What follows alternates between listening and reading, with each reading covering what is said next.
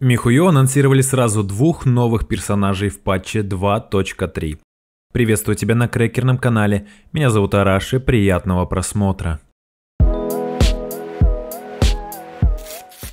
Наконец, по доброй традиции, за пару дней до выхода нового патча Михуё позволяет заглянуть чуть дальше и узнать, каких новых персонажей мы можем ожидать в патче 2.3. В отличие от 2.2, в 2.3 нас будут ждать сразу два новых персонажа, и оба пацаны. Сначала то, о ком мы уже все знаем. Показали Гора, геолучник. Естественно, никаких пока звезд и способностей мы не знаем, но можно предположить, что у Гора 4 звезды, а для способностей ждем стрима разрабов. И наконец новиночка – Аратаки Итта. Тоже геоперсонаж и, судя по дубине в руках, двуручник. Является предводителем банды Аратаки. Судя по описанию, он демон, ибо в его жилах течет кровь Они. Конечно, для Они у него слишком миловидное лицо, но ладно.